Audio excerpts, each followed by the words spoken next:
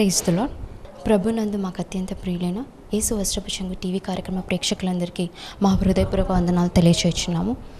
యేసు వస్త్రపు చెంగు కార్యక్రమం ద్వారా మీరు ఆత్మీయంగా ఎంతో బలపడుతున్నారని మీరు చేసే ఫోన్ కాల్స్ని బట్టి మేము ప్రభువును స్తుతిస్తున్నాము. ఈ కార్యక్రమం ద్వారా మన ప్రభువైన అయిన యేసుక్రీస్తున్నాము ఎంతగానో విస్తరించాలని మేము ఆశిస్తున్నాము. ఇప్పుడు దైవజనరాలు వి విజయ్ కుమారి గారు దైవ సందేశాన్ని అందిస్తారు. ఆ తర్వాత దైవజనరాలి ప్రార్థన ద్వారా దేవుడు జరిగించిన అద్భుత సాక్ష్యాన్ని విని దేవుని గొప్పతనాన్ని చాటి చెప్పుదాం. ప్రార్థన చేసుకుందామండి స్తోత్రం ప్రభా మీ స్తోత్రములు నాయన. పరిశుద్ధాత్మ దేవ మీకు వందనాలు తండ్రి. కృపగలన దేవ నీకు స్తోత్రములు నాయన. సర్వశక్తి మంత్రుని తండ్రి. నీ పరిశుద్ధ పాదాలకు నాయన లెక్కలేని స్థితి స్తోత్రాలు చెల్లిస్తున్నాయన.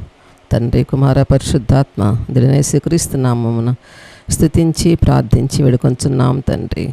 ఆమెన్. ఈనాటి అంశము పాపాత్మరాలని స్త్రీ పరిశుద్ధురాలుగా మార్చబడినది. లోకాసు వార్త ఏడో అధ్యాయము ముప్పై ఏడు ముప్పై ఎనిమిది వచ్చిన చదువుకుందాము. లోకాసు వార్త ఏడో అధ్యాయము ముప్పై ఏడు ముప్పై ఎనిమిది వచ్చినాలు ఆ ఊరిలో ఉన్న పాపాత్మరాలని ఒక స్త్రీ ఏసు పరిచయని అంట భోజనం కూర్చున్నాడని తెలుసుకొని ఒక బుడ్డిలో అత్తర తీసుకొని వచ్చి వెనక తట్టు ఆయన పాదముల యొద్ద నిలవబడి ఏడ్చుచు కన్నీళ్ళతో ఆయన పాదములను నిలవబడి ఆయన పాదములను తడిపి తన తన తల వెంట్రుకలతో తుడిచి ఆయన పాదములను ముద్దు పెట్టుకొని ఆ అత్తర వాటికి పూసెను. దేవునికి స్తోత్రం. దేవుడు తన పరిశుద్ధ వాక్యం మన కొరకు దేవుడు దీవించినగాక అయితే ఎందుకు మరి స్త్రీ పాపాత్మరాలుగా పరిగణించబడింది అంటే పాపాత్మరాలుగా ఎంచబడిన కారణం ఏంటంటే ఈమె జీవితము సరిగ్గా లేదు. ఈమె జీవితము సరైనది కాదు. సమాజానికి దేవునికి మరి ఒకళ్ళ కుటుంబీకులకు అందరికి కూడా చాలా దూరంగా జీవిస్తూ ఉన్నది.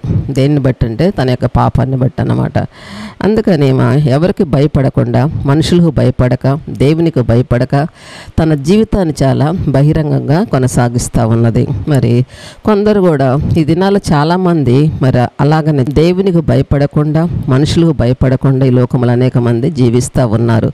కారణం ఏంటంటే వారి యొక్క వారి వారి తెలివితేటలతోటి కావచ్చు వారికి ఉన్న ఒక జ్ఞానముతోటి కావచ్చు వారికి ఉన్న మరి బుద్ధి జ్ఞానములతో వారు జీవిస్తూ ఉన్నారు. అయితే ఈ స్త్రీ మరి అంత అందరికి కూడా చాలా హేళనగా ఉన్నదనమాట ఈ స్త్రీ ఎవరికి కూడా పనికి రాకుండా ఉన్నదనమాట ఎవరు తనని ప్రేమించేవాళ్ళు కాదు. ఎందుకంటే తన స్థితి చాలా ఘోరమైందనమాట ఎలాంటి స్థితి అది?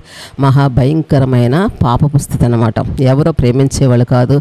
ఎవరు కూడా తనను పిలిచేవాళ్ళు కాదు. ఎవరు కూడా తన స్థితి ఘోరంగా ఉన్నది కాబట్టి తన ఆత్మీయ స్థితి తన శారీరక స్థితి కూడా భయంకరమైన పాపములు ఉన్నది కాబట్టి తను ఎవరు ప్రేమించలేదేమని నేను అనుకుంటున్నాను బైబిల్ ప్రకారం వాక్య ప్రకారంగా. కాబట్టి ఏమైనదంటే ఆ రోజు మరి ఒక పరిసైన ఇంటికి ఆయన మరి భోజనానికి వస్తున్నాడని తెలుసుకుంది. ఎవరు? ఈ స్త్రీ అనమాట ఆ పాపాత్మ ఏం చేసింది? ఒక పరిసైన ఇంటికి యేసుప్రభు వస్తున్నాడని తన తన హృదయంలో తెలుసుకుని చేసింది? తనకున్న మరి ఆస్తిని అంతా కూడా అమ్మేసి చేసింది తను? అత్తరక్కొని యేసుప్రభు వస్తున్నాడని తెలిసి ఏం చేసింది? తన పాదాలు కడగాలని మనసులో అనుకుందనమాట అయితే ఎందుకని దేని బిడ్డారా తన హృదయంలో ఉన్న బాధ అనమాట తన హృదయంలో ఉన్న వేదన తన హృదయంలో ఉన్న రోదన అలాంటిది అనమాట ఎందుకని తను అప్పటి వరకు కూడా తన స్థితి ఒకవేళ తన పైకి చెప్పుకోలేకపోయినప్పుడు కూడా ఒకవేళ అందరికీ తన యొక్క పరిస్థితిని పంచుకోలేకపోయినప్పుడు కూడా ఒకవేళ తన బాధ తన ఆత్మీయులతో కావచ్చు తన శరీర శారీరక సంబంధాలతో కావచ్చు తన రక్త సంబంధాలతో కావచ్చు పంచుకొనకపోయినప్పుడు కూడా తను ఎంతో వే ఆత్మలో వేదన పడుతుందని మనకు అర్థమైపోతుంది అనమాట కాబట్టి సమయంలో మనం జ్ఞాపకం చేసుకోవాలి. అవెంతో మరి తన హృదయంలో మార్పు తన హృదయంలో బాధ తన హృదయంలో వేదన తన హృదయంలో ఏంటంటే రకరకాల పరిస్థితులను కూడా తన హృదయాన్ని కదిలించుతానమాట ఎందుకని? యేసు ప్రభు మరి పరిశుద్ధాత్మ దేవుడు కాబట్టి ఆయన స్థితిని మార్చేవాడు కాబట్టి ఆయన పరిస్థితులు మార్చే దేవుడు కాబట్టి ఆయన ప్రవర్తన మార్చే దేవుడు కాబట్టి ఆయన ఆత్మీయ జీవితాన్ని మార్చే దేవుడు కాబట్టి ఆయన శారీరక మరి జీవితాన్ని కూడా మార్చగల శక్తి ఆయనకు ఒక్కడికి ఉన్నది కాబట్టి ఎవరు గ్రహించారు? ఈ పాపాత్మరాలని స్త్రీ గ్రహించిందనమాట గ్రహించడమే కాదు మనసులో అనుకుంది. నేను తన దగ్గరికి వెళ్ళి తన పాదాల మీద పడి మన కన్నీటితో పశ్చాత్తాపంతో నా ప్రతి పాపాన్ని కూడా ఒప్పుకున్నట్లయితే యేసు ప్రభు నాకు శాంతినిస్తాడు. యేసు ప్రభు నాకు సమాధానాన్ని ఇస్తాడు యేసు ప్రభు నాకు ఆరోగ్యాన్ని ఇస్తాడు యేసు ప్రభు నాకు నెమ్మదినిస్తాడు. యేసు ప్రభు నాకు ఏం చేస్తాడు ఆయన? సంతోషాన్ని ఇస్తాడు కాబట్టి నేను ఎవరి దగ్గరికి వెళ్ళకుండా యేసు ప్రభు దగ్గరికి నా రహస్య జీవితాన్ని ఆయన పాదాల దగ్గర దగ్గర ఒప్పుకుంటానని మనసులో ఏముంది అనుకున్నదనమాట అనుకోవటమే కాదు దాని బిడ్డలారా ఏం చేసిందంటే ఆమె వెనుక తట్టు ఆయన పాదముల యొద్ద నిలవబడి ఏడ్చుతూ కన్నీళ్ళతో ఆయన పాదములను తడిపి తల వెంట్రుకలతో తుడిచి ఆయన పాదములను ముద్దు పెట్టుకొని ఆత్తర వాటికి పూసాను. దేవునికి స్తోత్రం. దాని బిడ్డలారా ఈ రోజుల్లో చాలామంది మరి హృదయాలలో ఎలాంటి ఒకవేళ బాధ ఉన్నా వేదన ఒకవేళ ఎలాంటి పరిస్థితులు ఉన్నప్పుడు కూడా సరి అయిన రీతిగా ప్రార్థించలేకపోతున్నారు. సరి అయిన రీతిగా దేవుని ఆరాధించలేకపోతున్నారు. సరి అయిన రీతిగా దేవుని పాదాల దగ్గరకు వచ్చి పశ్చాత్తపడి మనసుతో ప్రార్థించలేకపోతున్న కారణం ఏంటంటే వాళ్ళు పూర్తిగా దేవుని శక్తిని ఆశ్రయించకుండా దేవుని యొక్క జ్ఞానాన్ని ఆశ్రయించకుండా దేవుని యొక్క దయను కోరుకొనకుండా దేవుని యొక్క సన్నిధిలో దేవుణ్ణి నిత్యము స్థుతించే మరి మనస్సు లేక చేస్తారు. చేస్తున్నారు రకరకాలుగా ఇబ్బందులు పడుతూ ఉన్నారు. అయితే ఈ సమయంలో దేవుని యొక్క వాక్యం మనతో సెలవిస్తూ ఉన్నాం. ఏం చేసింది? కన్నీళ్ళతో ఆయన పాదాల దగ్గర ఏం చేసింది? ఆయన పాదాలు తుడిచిందనమాట నేను విడలారా మనము కూడా మన హృదయంలో ఎలాంటి ఒకవేళ నీవు వాక్యం వింటున్న నీవు ఏ పరిస్థితిలో ఉన్నావో వాక్యము వింటున్న నీవు ఏ స్థితిలో ఉన్నావో వాక్యం వింటున్న నీవు ఏ బాధలో ఉన్నావో మరి వాక్యం వింటున్న నీవు ఏ స్థితిలో ఉన్నావు ఒక్కసారి ఒకసారి వాక్యం వాక్యాన్ని చూడు. ఆ స్త్రీ ఏం చేసింది? తన యొక్క ఏడ్చుతూ కన్నీళ్ళు తన పాదాలని తుడిచి తన తల వెంట్రుకలతో తుడిచిందనమాట కాబట్టి నీవు కూడా ఒకవేళ ప్రభు సన్నిధికి వచ్చి ఒకవేళ వాక్యం వింటున్న నీవు ఏం చేయాలి? హృదయంలో బాధ పెట్టుకోవటం కాదు. నేను బిడ్డారా హృదయంలో దుఃఖపడటం కాదు. హృదయంలో మరి మన వేదన చెందటం కాదు హృదయంలో మనం పరిస్థితులను బట్టి మనం మూలగటం కాదు. కానీ యేసు ప్రభు తట్టు ఒకసారి చూడు. ఆయన ఏం చేశాడు? కల్వరిలో నీకోసం మరి రక్తధారలు కార్చాడు. దేని బిడ్డలారా ఎందుకంటే ఆ రక్తంలో ఏముంది? మరి శుద్ధత అనమాట ఆ రక్తంలో ఏముంది? స్వస్థత ఉంది. ఆ రక్తములో పరిశుద్ధత ఉంది. ఆ రక్తములో నెమ్మది ఉంది. ఆ రక్తంలో ఏముంది? దయ ఉంది. ఆ రక్తంలో ఏముంది? కరుణ ఉందన్నమాట. కాబట్టి నీకు ఏ పరిస్థితిలో ఉన్నావో కానీ నాకు తెలియదు కానీ ఏ స్థితిలో ఉన్నప్పటికీ కూడా ప్రభు పరిశుద్ధ రక్తాన్ని ఆశ్రయించు. ఆయన చెంతకు వచ్చి ఆయన పాదాల దగ్గరకు వచ్చి ప్రభు సన్నిధిని నువ్వు మోకరించి హృదయాన్ని వంచి నువ్వు ఒకవేళ నీ పాపను ఒప్పుకున్నట్లయితే యేసు ప్రభు తప్పకుండా నీకు ఆయన సహాయం చేస్తాడు. కానీ పాపను ఒప్పుకొనకుండా మనం ఎంత ప్రార్థన చేసినప్పుడు కూడా ఒకవేళ ఆయన పరిశుద్ధ రక్తాన్ని మనం ఆశ్రయించకుండా ఒకవేళ ఆయన సిలువ నీడని మనం ఆశ్రయించకుండా ఆయన సాచి సాచిన రెక్కల నీడని మనం ఆశ్రయించకుండా మనం ఎంత ప్రార్థన చేసినప్పటికి కూడా మన పరిస్థితి నుంచి మనం ఎంత మాత్రం కూడా బయటికి రాలేము. ఇది మాత్రం వాస్తవం. అన్నమాట. అక్షరాలు ఇది నిజమన్నమాట. కాబట్టి యేసు ప్రభు సమస్తం సాధ్యము కాబట్టి యేసు ప్రభువుని మనం ప్రేమించే మనసు కావాలి. పరిసేయుడైతే ఇంటికి పిలిచాడు కానీ ఏమాత్రం కూడా తాను యేసు ప్రభు కాళ్ళకు నీళ్ళు ఇవ్వలేదు. యేసు ప్రభుని ఎంత మాత్రం కూడా ఆయన పట్టించుకొనలేదు. మరి ఈ రోజుల్లో కూడా చాలామంది ప్రార్థనకు వస్తూ ఉంటారు పరిసేలాగా ఉంటారు సీమోన్లాగా ఉంటా ఉంటారు అనమాట ప్రార్థన చెయ్యరు దేవుని సన్నిధికి ఒకవేళ నువ్వు దేవుణ్ణి పిలవచ్చు కానీ దేని హృదయంలో నిలబెట్టలేకపోతున్నావు. ఎక్కడ ఉంచుతున్నావు బయట నిలబెడుతున్నావు అనమాట అంటే ఏంటి? దాని అర్థం ఏంటి? యేసు ప్రభువుని ప్రార్థన చేస్తున్నావు కానీ యేసు ప్రభువుని కోరుకుంటున్నావు కానీ యేసు ప్రభువుని అడుగుతున్నావు కానీ హృదయపూర్వకంగా నీవు ప్రార్థించలేకపోతున్నావు. హృదయపూర్వకంగా దేవుణ్ణి నీవు అడగలేకపోతున్నావు. హృదయపూర్వకంగా నీవు నీ పాపాన్ని కడుక్కోలేకపోతున్నావు హృదయపూర్వకం నీ యొక్క పాపాన్ని ఏసు రక్తంతో నీవు కడుక్కో కడుక్కోలేకపోతున్నావు అనమాట కారణం ఏంటి? నీవు దేవుని మీద ఆధారపడక దేవుని యొక్క శక్తిని ఆశ్రయించకపోవటం కారణం అనమాట కానీ అలా ఉండొద్దు. ఎందుకంటే యేసు ప్రభు ప్రతి పాపాన్ని క్షమించే దేవుడు ఒకవేళ నువ్వు ఏ స్థితిలో ఉన్నప్పటికీ కూడా అది భయంకరమైన పాపము కావచ్చు అది భయంకరమైన స్థితి కావచ్చు ఏది ఏమైనప్పుడు కూడా దేవుడు నిన్ను క్షమించే దేవుడు. దేవుని ఎంత మాత్రం ఆయన పక్షపాతి కాదు. దేవుడు ఎవరిని కూడా ఆయన తృణీకరించేవాడు కాదు. ఎవరైతే యేసు ప్రభు శిలువ దగ్గరకు వస్తారో ఎవరైతే ఆయన పాదాల దగ్గరకు వస్తారో ఎవరైతే ఈ స్త్రీలాగా ప్రభు సన్నిధికి వచ్చి తన కన్నీళ్ళతో తన స్థితిని చెప్పుకుంటారో దేని బిడ్డారు తన హృదయంలో ఏ తన యొక్క స్థితిని ప్రభు సన్నిధిలో మరి కుమ్మరిస్తారో తన హృదయాన్ని ఎవరైతే కుమ్మరిస్తారో వాళ్ళ పట్ల దేవుడు అద్భుతంగా వారి జీవితాలను మార్చగల శక్తి ఎవరికి ఉంది? ఒక పరిశుద్ధాత్మ దేవుడికి ఉందన్నమాట. కాబట్టి సమయంలో జ్ఞాపకం చేసుకోవాలి. నువ్వు దేనికి కూడా భయపడకూడదనమాట నువ్వు భయపడవాకు ఒకవేళ ప్రభు నన్ను క్షమిస్తాడో లేదో? ఒకవేళ ప్రభు నన్ను బాగు చేస్తాడో లేదో? ఒకవేళ ప్రభు నన్ను దగ్గరకు రానిస్తాడో లేదో? ప్రభు నాకు నిత్య జీవాన్ని ఇస్తాడో లేదో అని నువ్వే మాత్రం కూడా భయపడకూడదనమాట యేసు ప్రభు నీతో మాట్లాడుతున్నాడు. ఎందుకంటే ఆయన ప్రతి ఒక్కరిని కూడా ఆయన చేస్తాడు. ఆయన ప్రేమించే దేవుడు అనమాట మరి నీ జీవితం ఎలాగున్నది? ఒక్కసారి నీకు నువ్వు పరిశీలన చేసుకో. ఒకవేళ నీ పరిస్థితి ఎలాగున్నది? ఒకవేళ నీ అంతరంగం యొక్క స్థితి ఎలా ఉన్నది సమయంలో నీకు నీవు జ్ఞాపకం చేసుకోవాలి.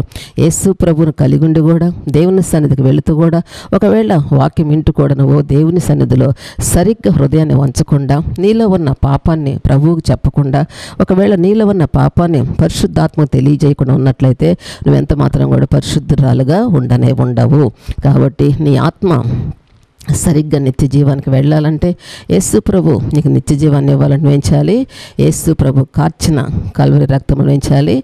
నీ హృదయాన్ని కడుక్కోవాలి. నీ హృదయంలో ఉన్న పాపాన్ని కడుక్కోవాలి. దేని బిడ్డలారా? కడుక్కోవటమే కాదు. యేసు ప్రభు పరిశుద్ధ రక్తం ఇచ్చిన గో- ఆ రక్తం ద్వారా పాపాన్ని కడుక్కున్న తర్వాత ప్రభు నీతో మాట్లాడతారు. పరిశుద్ధాత్మ దేవుడు నీ అంతరంగ జీవితాన్ని నీకు ఆయన తెలియజేస్తాడు. నువ్వు ఎక్కడున్నావో నీ వెలుగులో ఉన్నావో చీకట్లో ఉన్న ప్రభుని తప్పకుండా ఆయన తెలియజేస్తాడనమాట. అప్పుడు ఏమంటావు నువ్వు సరిగ్గా చేసుకోగలనమాట. కాబట్టి సమయంలో జ్ఞాపకం చేసుకోవాలి. మన జీవితాలు సరిగ్గా ఉండాలంటే మన కుటుంబాలు సరిగ్గా ఉండాలంటే మన పరిస్థితులు మన అనుకూలంగా ఉండాలి మనం ఏం చేయవరి మీద ఆధారపడాలి? యేసు ప్రభు మీద ఆయన ఆత్మ మీద మనం ఆధారపడతా ఉండాలి.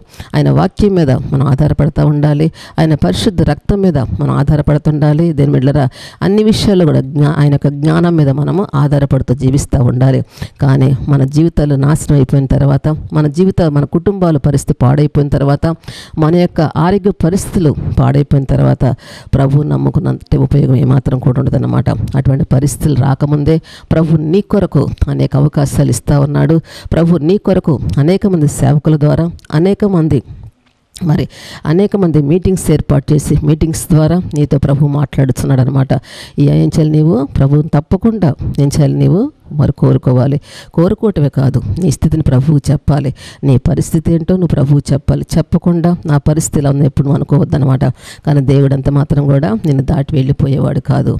నీ యొక్క నీ స్థితిని దాటి వెళ్ళిపోయేవాడు కాదు. నీ పరిస్థితులు ఆయన దాటి వెళ్ళిపోయాడు కాదు కాబట్టి ప్రతి విషయంలో కూడా యేసు ప్రభువును కోరుకున్నట్లయితే ఈ స్త్రీ యొక్క మరి బాధని ఈ స్త్రీ యొక్క వేదనను ఈ స్త్రీలో ఉన్న మరి కన్నీటిని తుడిచిన దేవుడు తప్పకుండా ఆయన నీ కన్నీటిని ఆయన తుడవగల శక్తి ఎవరికి ఉంది?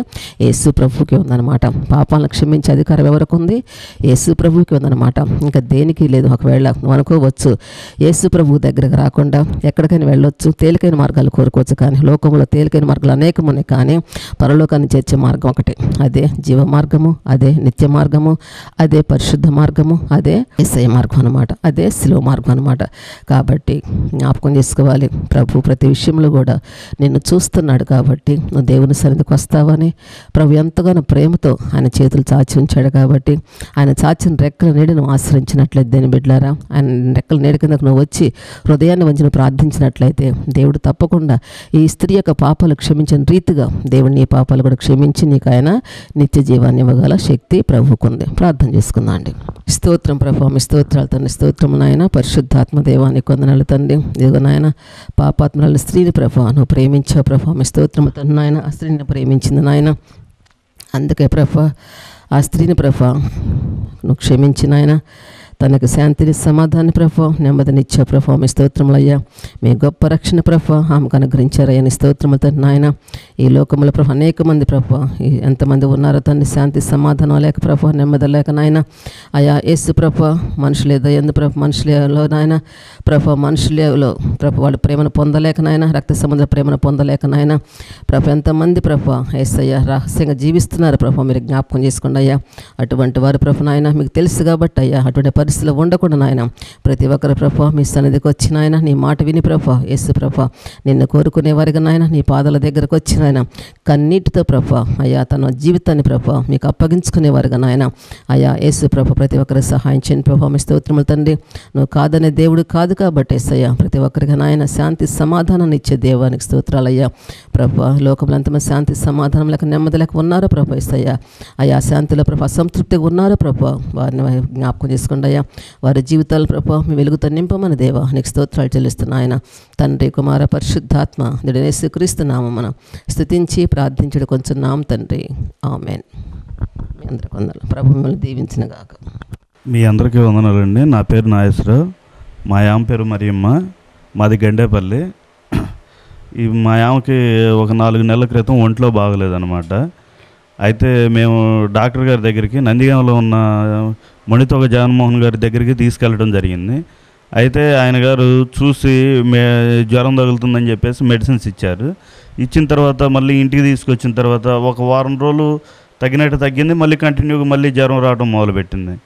ఇంకా లాభం లేదులే అని చెప్పేసి మేమేం చేసామంటే మళ్ళీ అక్కడ వేరే డాక్టర్ గారు ఒక ఆయన ఉంటే వాసుబాబు గారు అని ఆయన గారి దగ్గరికి తీసుకెళ్ళడం జరిగింది. ఆయన గారు కూడా చూసి జ్వరమేనని చెప్పేసి ట్యాబ్లెట్లు ఇచ్చి మళ్ళీ మళ్ళీ పంపించడం జరిగింది. మళ్ళీ మేము ఇంటికి వచ్చిన తర్వాత నాలుగు రోజులు తగ్గటం మళ్ళీ కంటిన్యూగా జ్వరం రావడం మొదలుపెట్టింది. ఇక లాభం లేదని చెప్పేసి ఈ అమ్మాయి జ్వరంతో పడుకొని ఉంటే మా మా వదిన గారు ఏం చేశారంటే వీళ్ళ అక్కగారు గా- కంచిచారులో వేరే డాక్టర్ గారు ఉన్నారు పిడుగు వెంకటేశ్వరరావు గారు. ఆయన దగ్గరికి తీసుకెళ్తే తగ్గుద్దని చెప్పేసి ఆయన దగ్గరికి తీసుకెళ్ళడం జరిగింది. అప్పుడు తీసుకుపోయిన తర్వాత ఆయన ఏం చేసిండు? మళ్ళీ ఆయన చూసేసి జ్వరమే ఏమవ్వదని చెప్పేసి మళ్ళీ మెడిసిన్స్ రాసి ఇవ్వడం జరిగింది. జరిగిన తర్వాత ఇంటికి వచ్చిన తర్వాత పక్కమిటోళ్ళు వాళ్ళు వీళ్ళు మన మామూలుగా అది జ్వరం కాదు ఏదో మన మామూలుగా దెయ్యం చేతబడి అసమంటి చేస్తుంటారు. మీరు మన మామూలుగా మెడిసిన్స్ వాడినా ఎంతమంది డాక్టర్లకు చూపించినా తగ్గదు.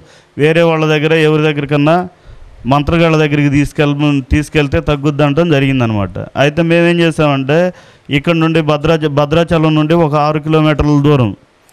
భద్రాచలం నుండి ఆరు కిలోమీటర్ల దూరంలో మే ఈ అమ్మాయి నేను మా అమ్మగారు మేము ముగ్గురం కలిసి ఒక ఆటో మాట్లాడుకొని వెళ్ళడం జరిగింది. పెద్ద వేరే విగ్రహం ఒకటి ఉందన్నమాట. అక్కడ అతను ఏం చేసిండంటే చాటలో కన్యపిల్లల కన్యపిల్లలను కాల్చిన బసం అనమాట అంటే కన్యపిల్లలు చనిపోయిన తర్వాత వాళ్ళని కాల్చే బసంలో బసం దాంతో చాటలో ముగ్గు పెట్టేసి అందుట్లో పోసేసి అతను ఏం చేసిండు మన మామూలుగా నీ పేరు ఏం పేరు? మీ ఆమె పేరు ఏం పేరు? అది ఇదని ఆ చాట్లో రాసిండు. రాసిన తర్వాత అతను ఈ అమ్మాయికి దెయ్యం పట్టింది దెయ్యం ఈ అమ్మాయిని ఆ- ఇచ్చేస్తుంది ఈ అమ్మాయికి చేతబడి చేశారు మీరు యాభై వేలు ఇస్తే ఈ అమ్మాయి కోలుకుంటుంది. లేకపోతే మాత్రం కష్టం అని చెప్పండి.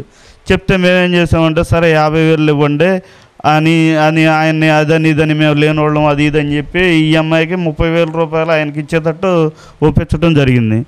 జరిగిన తర్వాత సరే ఆయన ఏం చేసిండు తాయెత్తిచ్చిండు తీసుకొచ్చాం కట్టి మళ్ళీ తీసుకొని వచ్చాం. వచ్చిన తర్వాత మళ్ళీ అది జ్వరం మళ్ళీ ఆగలేదన్నమాట. మళ్ళీ జ్వరం రావడం జరుగుతూనే ఉంది. ఆయనకి ఫోన్ చేస్తే ఏం లేదయ్యా రెండు రోజులు ఆగిన తర్వాత తగ్గుద్ది మీరు అప్పుడే కంగారు పడితే అట్ట నేను ఇక్కడ నుండి పూజలు చేస్తూనే ఉన్నాను అది ఇది అని చెప్పడం జరిగిందనమాట అయితే ఇంకా ఇంకొకళ్ళు వేరే వాళ్ళు వచ్చి మీరు అక్కడికి ఎందుకు పోయారు? ఇంకొక ఆయన ఇటే పోయేది మన ఉయ్యూరు దగ్గర నుండి ఒక ఏడెనిమిది కిలోమీటర్ల దూరం ఉంటుంది. అది ఒక అడవి ప్రాంతమేనమాట అయితే ఆయన దగ్గరికి తీసుకెళ్ళండి అని చెప్పేసి వేరే తెలిసిన అతను ఒక పేపర్ ఇచ్చి మాకు పంపించిండు.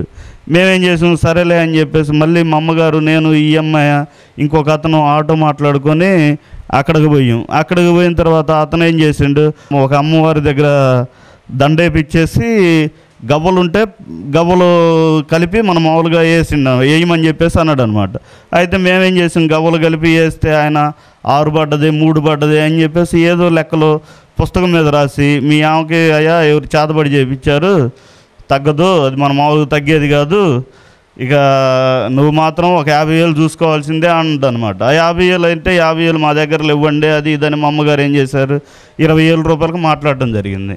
ఆయనకి ఇరవై వేల రూపాయలు ఇచ్చామన్నమాట. ఇచ్చిన తర్వాత సరేలే అని చెప్పేసి ఆయన అన్నాడు ఇరవై వేలే కాదయ్యా ఇంకో నాకు ఇంకొక ఎక్స్ట్రా ఆరు వేల రూపాయలు ఇవ్వాలా నేను ఇక్కడ ఇక్కడుండి నలభై ఒక్క రోజులు ఈ అన్నంతో అమ్మవారికి పూజ చేయాలి. అంటే అక్కడ కాళికామాత విగ్రహం ఒకటి ఉందన్నమాట. దా ఆ కాళికామాత విగ్రహం నిండా పొర్రెలు నెక్స్ట్ నిమ్మకాయలు మహా బీభత్సంగా ఉంది. అక్కడ ఆ విగ్రహాన్ని చూస్తే మనకే భయం పుట్టిద్ది. అసమంటిది నేను ఇక్కడ వారం నలభై ఒక్క రోజు ఉండి పూజ చేయాలా? అది ఇది అని చెప్పేసి అంటే సరేలే ఇంకొక ఆరు వేలు ఇస్తామని చెప్పేసి ఆయనతో కుదిరించడం జరిగింది. ఈ మొత్తం కలిపి ఇరవై ఆరు వేల రూపాయలకు మాట్లాడడం అనమాట సరే డబ్బులు ఇచ్చి వచ్చేసాం. వచ్చిన తర్వాత మళ్ళీ ఆయనకి ఈ అమ్మాయికి జ్వరం తగ్గట్లేదు. మళ్ళీ ఆయనకి ఫోన్ చేస్తే ఇప్పుడేగా మీరు పోయింది నాలుగు రోజులేగా ఐదు రోజులేగా మీకు పట్టిన శక్తి చిన్నది కాదు చాలా పెద్దది. తగ్గిద్ది మీరు కంగారు పడబోకండి అది ఇది అని చెప్పేసి ఏదేదో చెప్పిండు. సరేలే అని చెప్పేసి మేమేం చేసాం నాలుగు రోజులు ఐదు రోజులు ఈ ట్యాబ్లెట్లు ఏం వాడుకోకుండా ఈ అమ్మాయి అశ్రద్ధగా ఆ ట్యాబ్లెట్లు ఏం వాడుకోకుండా పక్కన పెట్టేసింది. పక్కన పెట్టేసిన తర్వాత ఈ అమ్మాయికి బాగా ఇక ఆ రోజు ఇక ఆరు గంటలకు స్టార్ట్ అయిన జ్వరం నైట్ పదకొండు పన్నెండింటి దాకా కూడా తగ్గలేదు. పదింటి దాకా తగ్గలేదు. అయితే మా మా వామరిది గారికి ఫోన్ చేస్తే ఆయన అన్నాడు విజయవాడ తీసుకొని రండి ఆ అమ్మాయిని నేను చూపిస్తానని చెప్పేసి అన్నాడు. సరేలే అని చెప్పేసి ఈ అమ్మాయిని వేరే ఆటో ఒకటి మాట్లాడుకొని విజయవాడ తీసుకొని వెళ్ళాం. విజయవాడ తీసుకొని వెళ్తే ఆయన ఏం చేసిండు రిపోర్ట్లు ఇది బ్లడ్ పరీక్ష ఇవి మొత్తం చేసేసి ఈ అమ్మాయికి గుండెకి గుండె దాకా వచ్చేసింది నిమ్ము. ఆ అమ్మాయి బతకటం కష్టమయ్యా ఇక తీసుకొని వెళ్ళటం మంచిదని. ఆ రోజు సెలైన్ ఎక్కించిండు. సెలైన్లు ఎక్కిచ్చేసి అర్ధరాత్రికి అర్ధరాత్రి. అంటే మేము వెళ్ళింది పన్నెండు గంటలకు వెళ్ళాము. తెల్లారుజాము నాలుగు గంటలకల్లా సరేనయ్యా ఈ అమ్మాయి ఇక్కడ ఉండ వేస్ట్ బతకదు మీరు డబ్బులు ఖర్చు పెట్టడం వేస్ట్ తీసుకొని వెళ్ళడం వెళ్ళండి అని చెప్పేసి అన్నాడు. సరేలే అని చెప్పేసి తెల్లారుజామునే మేము ఆటోలో వేసుకొని మళ్ళీ వచ్చాం. మళ్ళీ వచ్చిన తర్వాత ఇంకొక ఆయన అన్నాడు వేరే డాక్టర్ గారి దగ్గరికి తీసుకుపోండాయా ఈ రిపోర్ట్లు చూస్తే ఇదిగా ఉంది. జాషువా గారు అని ఆయన బాగా చూస్తాడు. అది ఇది అంటే సరేలేని మళ్ళీ తెల్లారి పొద్దున్నే మళ్ళీ ఇంకొక ఆటో మాట్లాడుకొని ఏంటంటే నా తాపత్రయం ఏంటంటే డబ్బులు పోయినా పర్లేదు ప్రాణం కాపాడుకోవాలి అనే ఆతృత మీద సరే నేను అప్పటికి దగ్గర దగ్గర రెండు లక్షల రూపాయలు పైన పెట్టున్నా. సరేలే అని చెప్పేసి ఇంక మరి జాషువా గారి దగ్గరికి తీసుకెళ్ళి తీసుకెళ్ళిన తర్వాత ఆయన మళ్ళీ నాకు ఆయన ఆయన దగ్గర రిపోర్ట్లు కదయ్యా నాయ నాకు ఫ్రెష్ కావాలని చెప్పేసి అంటే అప్పటికప్పుడు మళ్ళీ పన్నెండు వేల రూపాయలు బాడీ స్కాన్ అయితే ఈ ఎక్స్రే అయితే బ్లడ్ టెస్ట్లు అయితే ఈ మొత్తం కూడా దగ్గర దగ్గర పన్నెండు వేల రూపాయలు పెట్టి చేపించాం. చేపించిన తర్వాత ఇంకా ఆయన మెడిసిన్స్ ఇచ్చిండు. సరేలే అని చెప్పేసి మేమేం చేసాం? తీసుకొని వచ్చేసాం. వచ్చిన తర్వాత ఇక మా మా ఇంటి పక్క వేరే వాళ్ళు ఒక ఆవిడ మా ఇంటికి ఫ్యాన్ ఫ్యాన్ ఇచ్చిపోయింది అనమాట అంటే నాకు కేసర్లో గండేపల్లిలో ఎలక్ట్రికల్ షాప్ ఉంది. కే- కేసర్లో అయితే ఆమె ఫ్యాన్ ఇచ్చిపోతే ఆమె ఫ్యాన్ కోసం వచ్చి మా మిస్సెస్ని చూడటం జరిగింది. ఏంది ఈ అమ్మాయి అంత ముందు బాగుండేది? అసలు ఏంది ఎంత వీక్గా ఉంది? అంటే ఈ అమ్మాయి అప్పటికి ఈ అన్నం తినకోకుండా మెడిసిన్స్ వాడుకో వాడుకోకుండా మేలుకోకుండా ఉంటే ఈ అమ్మాయి ఇంత కాలు ఇంత చెయ్యే పడిపోయిందనమాట అంటే ఆ అమ్మాయికి ఇది దగ్గర దగ్గర అరవై కేజీలు వెయిట్ ఉన్న మనిషి ముప్పై రెండు కేజీలకు వచ్చింది యాక్చువల్లీ. ముప్పై రెండు కేజీలకు వస్తే ఇక ఆమె వచ్చి ఏమైనా చూసి ఏంది ఈ అమ్మాయి ఇట్ అయిపోతుంది? అమ్మగారి దగ్గరికి తీసుకుపోయా ప్రార్థన చేసిద్ది. అది ఇది అంటే సరే నేను నేనేం చేశానంటే ఈ మొత్తం దగ్గర దగ్గర డబ్బు ఖర్చు అయింది ఇంత ఇక అనవసరం అని చెప్పేసి ఎవరు చూసినా అంటున్నారు. సరే సరేలేమ్మా నువ్వు ఒకసారి అమ్మగారి దగ్గరికి పోయిరా అని మా మిస్సెస్ని పంపించడం జరిగింది. పంపిస్తే అమ్మగారు అమ్మ నువ్వు కాదమ్మా మీ ఆయన రావాలా? ఆ రిపోర్ట్లు తీసుకొని రండి అప్పుడు నేను చూసి చెప్తానని చెప్పేసి అంటే సరేలే అని చెప్పేసి నేనేం చేసా సరే ఏముంది లేదా సరే ఇప్పుడే ఉంది తర్వాత పోదాం తర్వాత పోదాం అని నాలుగైదు రోజులు అట్టే ఉన్నా. ఉన్న తర్వాత వేరే రోజు వేరే వాళ్ళది కూలర్ ఒకటి రిపేర్కి వచ్చి వాళ్ళు చేయటానికి పోతుంటే పక్కన శివమ్మ గారు అని ఒక ఆమె ఉంది గండేపల్లి ఆ చర్చికి వెళ్ళాము. ఆమె ఏం చేసింది అక్కడికి అక్కడికి తీసుకొని రండి అయ్యా నేను అమ్మగారితో మాట్లాడతాను నువ్వు కూడా సాయంత్రం రాయ అని చెప్పేసి అంటే సరేలే అని నేను ఇక ఏం చేశానంటే సరే ఎట్టబోయి ఎట్టుంటుందోలే ఇక ఏదో సరే అమ్మగారిని చూపిద్దాం అన్నారు కదా అమ్మగారికి సరే తీసుకెళ్దాం అని చెప్పేసి నేను అమ్మగారి దగ్గరికి వెళ్ళి మాట్లాడాను. మాట్లాడితే సరేనయ్యా నేను గండేపల్లి వస్తున్నాను సాయంత్రం ఆ రిపోర్ట్లు తీసుకొని రండి అని చెప్పేసి అంది. సరేలే అని మేము ఆ రిపోర్ట్లు తీసుకొని వెళ్ళాం. వెళ్తే IMA blood percentage six point two ఉందన్నమాట. సిక్స్ పాయింట్ టూ ఉంటే ఏందయ్యా? ఆ రిపోర్ట్లు మొత్తం చూపించింది చూపించిన తర్వాత సరేనయ్యా నేను ప్రార్థన చేస్తానని చెప్పేసి అమ్మగారు ప్రార్థన చేయడం జరిగింది. ప్రార్థన చేసిన తర్వాత తవలపాకులు దాచిన చెక్క తినమని చెప్పేసి అమ్మగారు చెప్పారు. సరేలే అని చెప్పి తవలపాకులు దాచిన చెక్క నేను అనుకున్న వాస్తవంగా చెప్పాలంటే ఇంతమంది డాక్టర్లు ఉన్నారు మనం దగ్గర దగ్గర ఎన్ని వేల రూపాయలు ఖర్చు పెట్టాం తవలపాకులు ఈ దాచిన చెక్క తింటే తగ్గిద్దన్న నమ్మకమే ఉంది. ఏదో అమ్మగారు చెప్పుంటారులే సరేలే అని చెప్పేసి నేనేం చేశాను. అంటే అంటే వాస్తవం చెబుతున్నాను నమ్మ నమ్మకం అనేది నాకు కలగలేదు. ఇక సరేలే అని చెప్పేసి ఇక సరే దాచిన చెక్క ఏముంది ఇది తవలపాకులు ఏముందిలే అని చెప్పేసి తవలపాకులు దాచిన చెక్క తీసుకుపోయి తినిపించడం జరిగింది. తినిపించిన ఒక వారం రోజుల తర్వాత మళ్ళీ హాస్పిటల్కి అంటే ఈఎంఐ కొంచెం యాక్టివ్గా ఉంటుంది. అంటే కొంచెం హుషారుగా ఉండటం వల్ల నేనేం చేశానంటే మళ్ళీ హాస్పిటల్కి తీసుకుపోయాం తీసుకుపోయి బ్లడ్ టెస్ట్ చేయిస్తే ఆరు సిక్స్ పాయింట్ టూ ఉంది సెవెన్ పాయింట్ సెవెన్కి వచ్చేసింది. ఇంకా అప్పుడు నాకు నమ్మకం అనేది కలిగింది. అంటే అమ్మగారు చెప్పింది కరెక్ట్ అని చెప్పేసి ఇక ఈ మెడిసిన్స్ వదిలేసి ఇక ఈ అమ్మాయికి అమ్మగారు చెప్పిన తవలపాకులు ఈ చేయటం జరిగింది. అయితే ఇది ఇది ఫస్ట్ ఐఎంఏకి ఐఎంఏకి తీపిచ్చిన రిపోర్ట్ అనమాట ఇది మొత్తం కూడా ఈ తెల్లగుందు మొత్తం కూడా ఐఎంఏది నిమ్ము. ఆ నిమ్ము నిమ్ము ఈ చెస్ట్ దాకా ఇక్కడ చెస్ట్ దాకా వచ్చేసింది అనమాట చెస్ట్ దాకా వచ్చేసింది. ఇరవై ఒకటో తారీఖు తీపిచ్చింది. అసలు నిమ్ము అనేది ఏమి లేదు. నేను ఆల్రెడీ అక్కడ డాక్టర్ గారి దగ్గరికి పోయి జాషువా గారు అని విజయవాడలో మంచి ఫేమస్ ఆయన. ఆయన దగ్గరికి పోయి నేను అడిగితే ఆ అమ్మాయికి నిమ్ము లేదయ్యా ఏమి లేదయ్యా మెడిసిన్స్ రాయటం ఎందుకు వేస్ట్ అని చెప్పేసి ఇదిగోండి అసలు ఖాళీ సీట్ అనమాట మెడిసిన్స్ రాయటం కూడా వేస్ట్ ఇంకా ఎందుకయ్యా ఆ అమ్మాయికి నిమ్ము కూడా లేదని చెప్పేసి ఆయన నిన్నే చెప్పడం జరిగింది. ఎన్నో తారీఖు ఇదిగోండి చూడండి డేటు మా కోసం అమ్మగారు ప్రార్థన చేసినందుకు మాకు చాలా ఆనందంగా ఉంది. నేను అసలు ఈ అమ్మాయి యాక్చువల్లీ బతకలు బతకదు అని నేను అనుకున్నాను. కాకపోతే ఇంకో చిన్న విషయం మా ఇంటి పక్క ఏమిటోళ్ళు అంటే మా మేమంటే గిట్టినోళ్ళు కూడా ఈ అమ్మాయికి ఎయిడ్స్ వచ్చింది ఈ నాగేశ్వరరావుకి ఎయిడ్స్ వచ్చింది ఆ అమ్మాయి ఎంత సన్నగా ఎంత కాలు ఎంత ఇది పడిపోయింది ఆ అమ్మాయి చచ్చిపోద్ది ఈ అబ్బాయి చచ్చిపోతాడు అని చెప్పేసి చాలామంది చాలా పుకార్లు పుకార్లు పుట్టించుకున్నారనమాట ఇవాళ రోజున ఈ అమ్మాయి సజీవంగా నా ముప్పై రెండు కేజీలు ముప్పై రెండు కేజీలు ఉన్న అమ్మాయి ఇవాళ రోజున ఇదిగోండి రిపోర్ట్లో చూడండి యాభై కేజీలకు వచ్చిందనమాట యాభై కేజీలకు వచ్చింది. అమ్మగారు మా గురించి ప్రార్థన చేసినందుకు దేవుడు స్వస్థపరిచినందుకు ఆ దేవుడికి అమ్మగారికి కృతజ్ఞతలు తెలియజేసుకుంటున్నాను ప్రభునందు ప్రిల్లారా ఇప్పటి వరకు చాలా అద్భుతమైన సాక్ష్యాన్ని మనం విన్నాం. సాక్ష్యాధారాలతో నాగేశ్వరరావు గారు తన సాక్ష్యాన్ని మనకు అందించారు.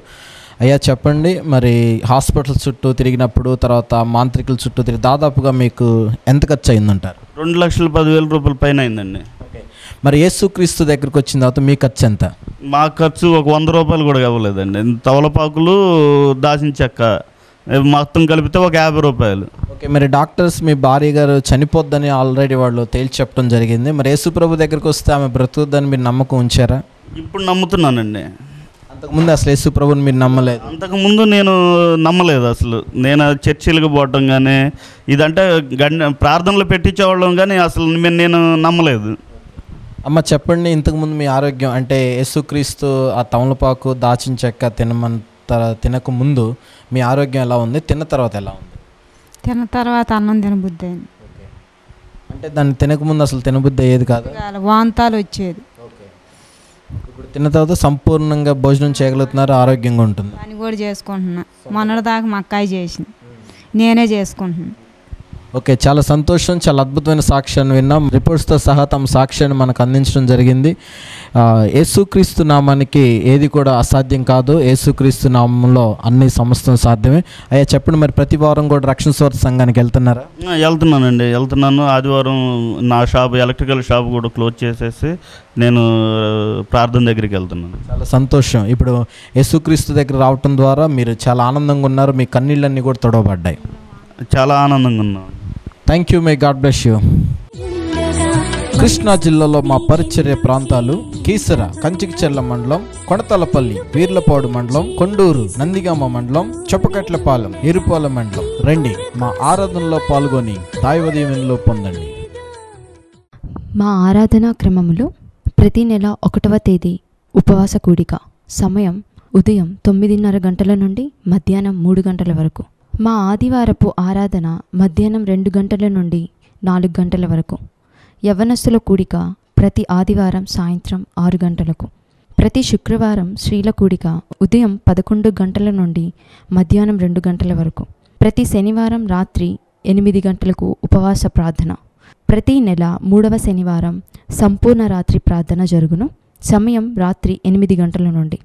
మా అడ్రస్ రక్షణ సువార్త సంఘం Keesara village and post Kanchikacherla మండలం కృష్ణా జిల్లా Andhra Pradesh. Pin code five two one one eight five. మా email address gospel of salvation Keesara at the rate Gmail dot com ప్రార్థన అవసరతల కొరకు సంప్రదించవలసిన మా ఫోన్ నెంబర్ తొమ్మిది ఒకటి రెండు ఒకటి మూడు రెండు సున్నా ఒకటి రెండు ఒకటి. Nine one two one three two zero one two one. May God bless you and may God bless our India